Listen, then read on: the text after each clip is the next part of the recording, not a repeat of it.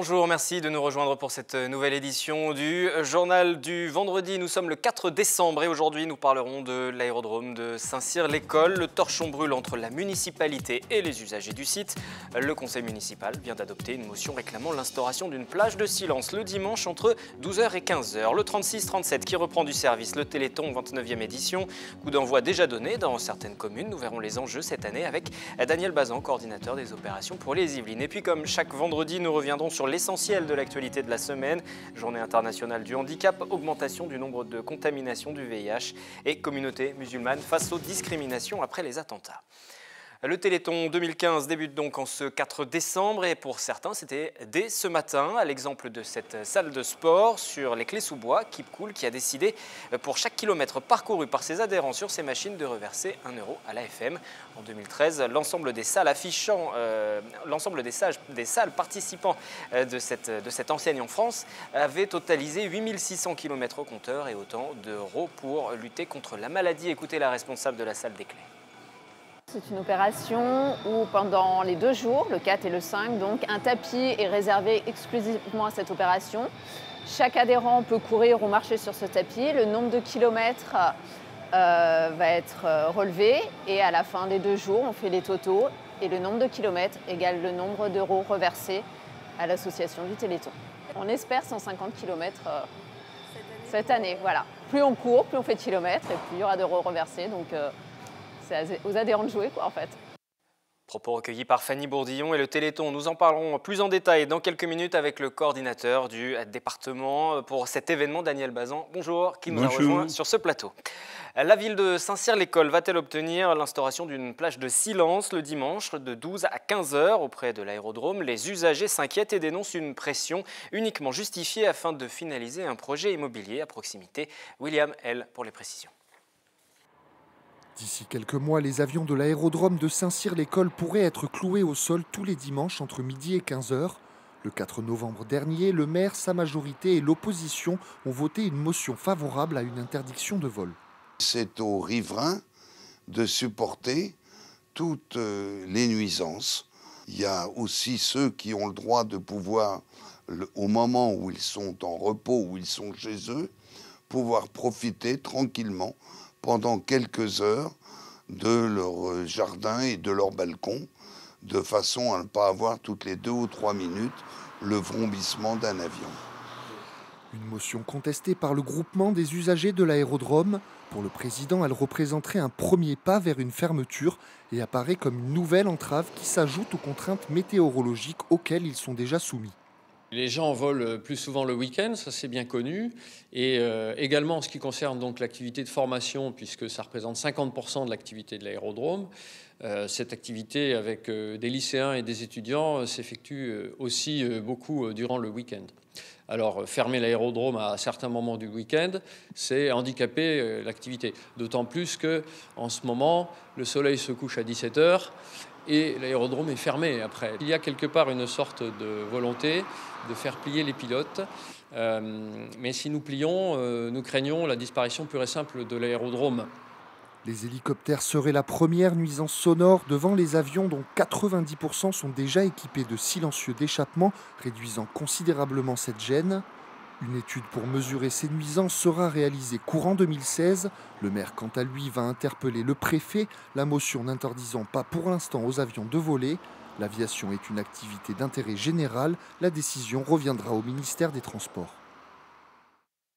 Nous revenons à l'actualité principale de ce vendredi, qui va d'ailleurs être l'actualité de tout ce week-end, en marge des élections régionales bien évidemment. C'est le Téléthon, 29e édition. Daniel Bazan, donc, qui est avec nous en plateau, coordinateur des événements sur les Yvelines. L'objectif, bien sûr, c'est de récolter des fonds, des dons en faveur de la recherche sur les maladies rares.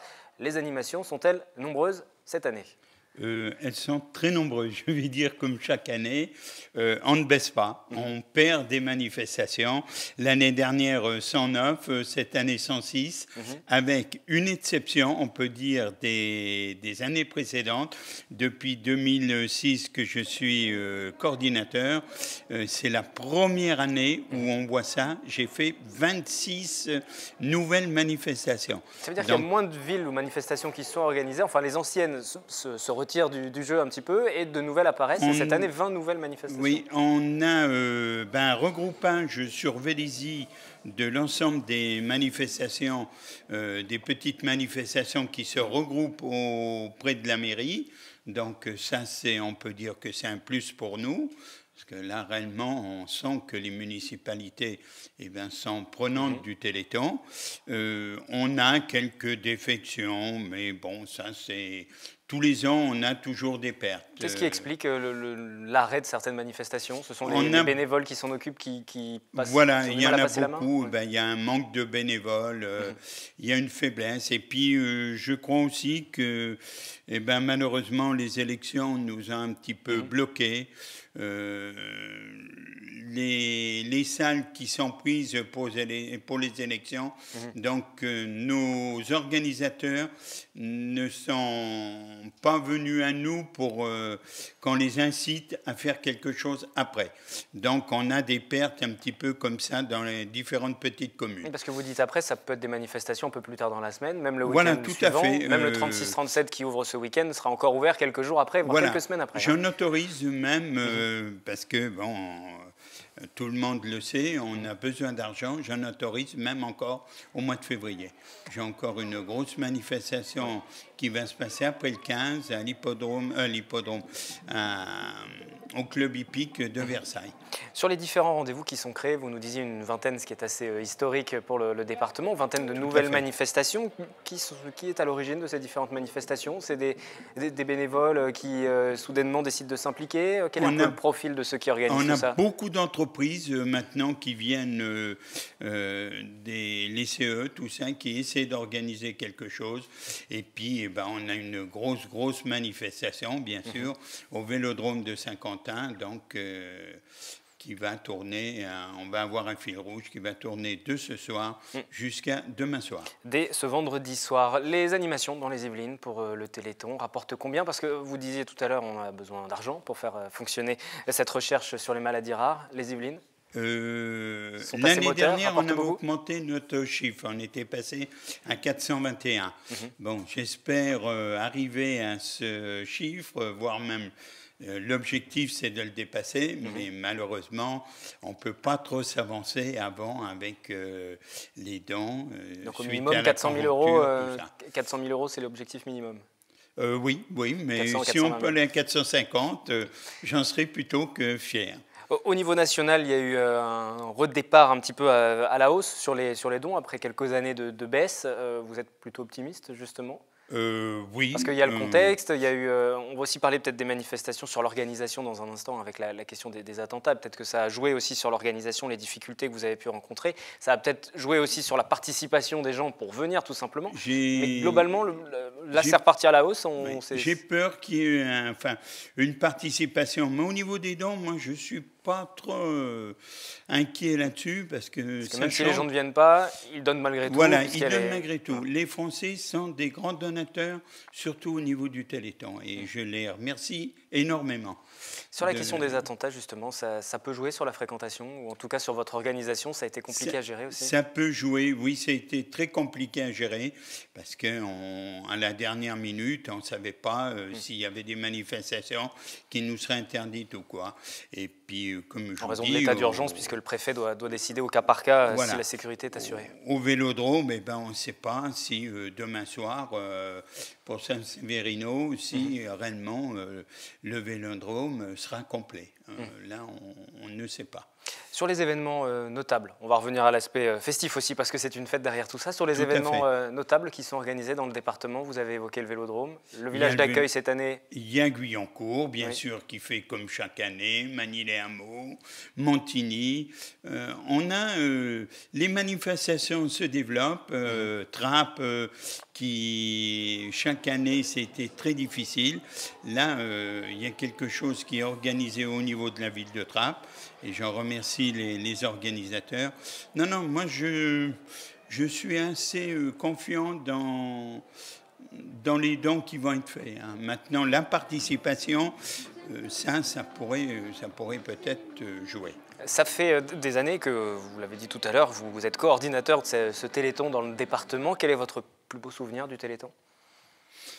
Eh bien, euh, je veux dire, chaque année, c'est réellement euh, un beau souvenir parce que c'est une fête. Mais est-ce qu'il y a des rencontres peut-être Voilà, aussi c'est des rencontres avec les, les, organisateurs où là, on a un accueil qui est réellement très, très chaleureux. Manille Hameaux, là où on a accueilli très à bras ouverts par euh, notre ami euh, Daniel Taman. Mm, qui sera, qui sera l'invité d'ailleurs du journal lundi pour faire un petit débriefing de, de voilà.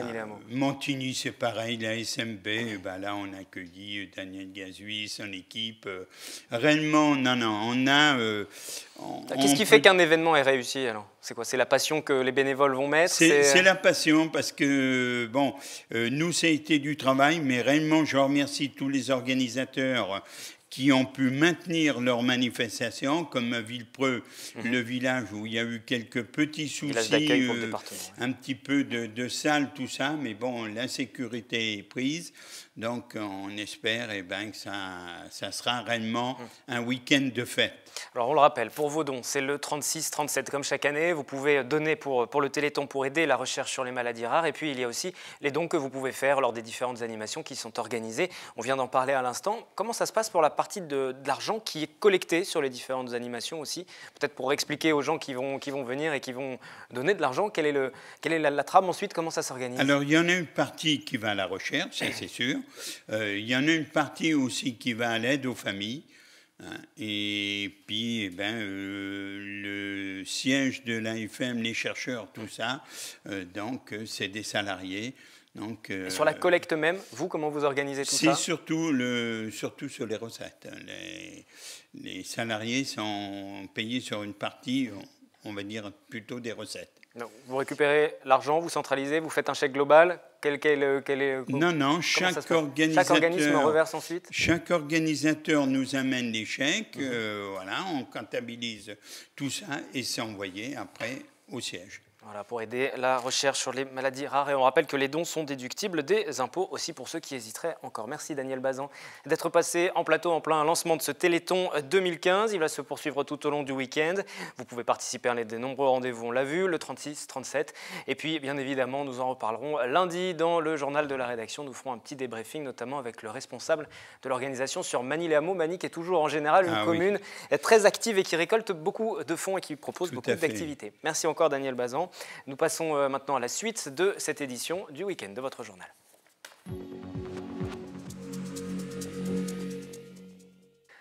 Nous poursuivons comme chaque vendredi avec l'essentiel de la semaine, les principaux sujets traités dans le journal du lundi au jeudi, le zapping de l'info locale tout de suite.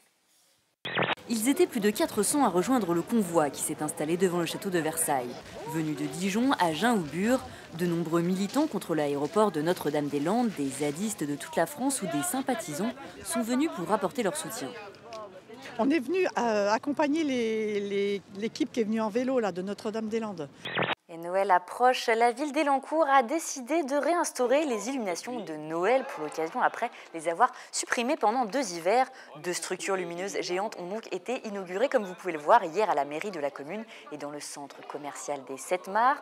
L'idée première, c'était pas de vivre 30 ans pour les Restos du Cœur, c'était de dépanner sur plutôt le court terme des gens qui étaient dans la pauvreté et le besoin. Et qu'est-ce qu'on voit C'est que alors qu'au début, on a dû servir 50 000 repas, maintenant, on en a servi au niveau national 130 millions. Donc c'est et d'une année sur l'autre, on continue. On ne voit pas ni de récession. Cette année, pas d'augmentation, pas de récession. Toujours les mêmes qui viennent nous voir.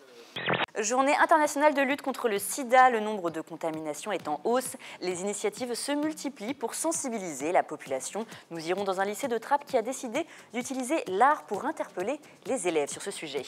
Chez nous à Guyancourt, on va organiser des journées portes ouvertes euh, pour que nos concitoyens, les voisins, viennent à la mosquée, boivent, partagent un thé avec nous et posent leurs questions. Euh, nous, serons euh, ouverts et l'événement sera organisé d'ici la fin de l'année. Une date sera précisée. L'objectif, c'est d'ouvrir la porte et d'accueillir tous les concitoyens, quelles que soient leurs origines et leur religion, pour débattre sur les sujets, poser des questions et lever les amalgames. Nous constatons cette augmentation euh, dans les villes, puisque sur le mois de novembre, comparé au mois d'octobre, nous avons trois fois plus de contacts dans nos centres de recrutement. Alors, qui sont ceux qui souhaitent justement intégrer euh, l'armée suite à justement les attentats de Paris du 13 novembre dernier? Et est-ce que vous avez justement besoin de ces candidatures? Alors, Oui, nous avons besoin de ces candidatures, euh, puisque comme, euh, comme vous le savez, le président de la République a décidé d'augmenter de, 11 000 hommes la force terrestre d'ici 2016. Et ces jeunes qui, viennent ont tous un, un point commun, c'est que ce sont tous de jeunes Français qui ont entre 17 ans et demi et 30 ans. C'est avec ce casque que Jean-Baptiste Gressin a servi aux côtés des Anglais dans la Royal Air Force en 1942. À 95 ans, il se rappelle des ordres comme si c'était hier. Yes, of course. By the left, quick march. Pour moi, la France, c'est vivant et euh, je suis toujours prêt à donner. Et c'est arrivé un plaisir pour moi de donner. William Bertrand, 13 ans, est déjà un as du volant sans son permis en poche. Ce jeune sportif né au Chénet fait aujourd'hui partie des trois meilleurs jeunes pilotes de kart de l'Hexagone dans la catégorie cadet, un sport qu'il a démarré en 2011 au Racing Kart de Corneille. C'est mon père, euh, un jour, euh, on est allé faire un tour en location et j'ai beaucoup aimé ça et, donc depuis, bah, on est allé plus loin et on a vu la compétition. Allez, ça marche, s'il vous plaît. Trois couverts table A, il y aura trois jours à suivre trois filets de bœuf saignant.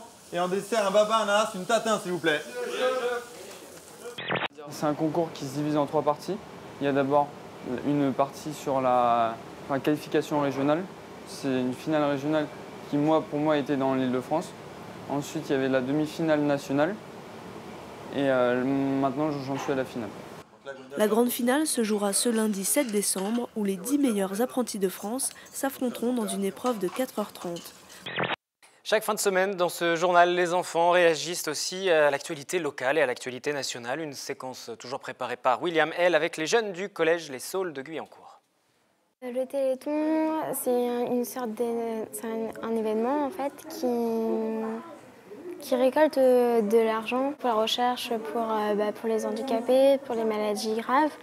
Bah, je trouve que c'est euh, bien euh, de récolter de l'argent pour aider les personnes parce que voilà, quand même, il faut quand même faire des recherches. Il ne faut pas laisser euh, les personnes euh, comme ça avec leur maladie. Et en plus, on ne sait pas si la maladie est mortelle, si, euh, ça peut, ça peut guérir. Donc, on fait des émissions, on peut faire des matchs de foot, des matchs d'athlétisme, des, des, spectacles pour récolter des dons, donc pour en faire part à Téléthon. Je vais me battre pour eux. Je vais courir pour eux. Mais, bah, je vais faire plein de choses pour eux. Il y aura euh, des, gros, des lancers, des poids, des longueurs, des, euh, des sauts. Euh, je trouve que c'est bien, c'est une bonne aide, donc il faut continuer à faire ça. Même sans guérir la maladie, soulager tout ça. Pratiquement tout le monde pense sûrement qu'ils peuvent aller n'importe où ils veulent, mais en fait, c'est pas trop le cas. Que par exemple, s'ils veulent faire des courses, je sais pas moi, à Leclerc, et bah, euh, peut-être qu'il y a des escalators, ils doivent monter, et comment ils font? Ils sont obligés de prendre l'ascenseur, donc voilà, c'est pas non plus être libre, non plus avoir un fauteuil roulant. Euh, quand on va descendre du métro, euh, il y a des escaliers, on est obligé de porter. C'est bien quand même d'essayer de récolter de l'argent pour essayer de trouver comment dire des méthodes pour que ça aille mieux, voilà, pour améliorer la vie des gens handicapés. Et le programme complet du Téléthon qui débute donc aujourd'hui ce vendredi sera retrouvé dans le 7-8 Week-end présenté, préparé par Mélanie Poquet cette semaine. Le point complet, tous les événements euh, disséqués avec ses invités. L'actualité locale revient dès lundi en direct à 18h sur notre antenne avec Florane Parfait. Première rediffusion à 19h et aussitôt en replay sur notre site internet. Un peu moins de 20 jours de Noël, nous verrons les principales tendances en termes de cadeaux. Comment faire plaisir à coup sûr aux plus jeunes et puis bien sûr comment bien choisir son sapin. Il s'en vend un peu plus de 5 millions tout de même chaque année à travers toute la France. L'actualité de la semaine prochaine, ce sera également la dernière ligne droite de la COP 21. Après les discours des chefs d'État à l'heure et tôt, décisions, en tout cas elles sont attendues. L'association Greenpeace basée dans les Yvelines proposera une réunion le 11 décembre pour dresser un premier bilan. Ce sera à Versailles. Euh, dans un instant, donc le 7-8 week-end, il sera question euh, du Téléthon et des autres événements organisés euh, dans le cadre de, vos loisirs. Et puis, dès à présent, si vous aimez le cirque, je vous invite à noter les uniques représentations en Ile-de-France de Knicking, Peace, tricoter la paix. C'est plus simple en français, c'est du cirque. Du, du cirque scandinave contemporain pour toute la famille à partir de 10 ans. Équilibrisme, jonglage, trapèze, acrobaties diverses pour un spectacle tout en métaphore sur une thématique malheureusement plus que jamais d'actualité. À noter que les représentations de vendredi, de samedi sont à 20h30, dimanche c'est à 16h et c'est au théâtre de Saint-Quentin en Yvelines. Le spectacle s'appelle Knitting Peace, donc tricoter la paix. Euh, c'est vraiment tout basé en fait autour de la laine et, euh, l'utilisation de la laine pour raconter un peu voilà, comment on peut euh, améliorer ce monde et tendre un peu sur quelque chose de positif et sur la paix. C'est très poétique, c'est très visuel.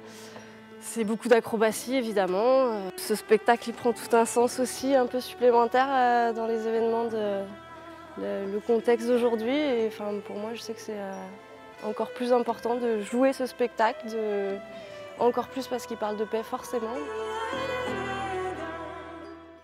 Interview réalisée par Sephora Namani. C'est ainsi que se referme cette édition du vendredi. N'oubliez pas, lundi aux alentours de 18h15, édition spéciale du 7-8 politique. Je vous retrouverai pour un point complet sur les résultats du premier tour des régionales. Un lundi donc, et n'oubliez pas d'aller voter dimanche.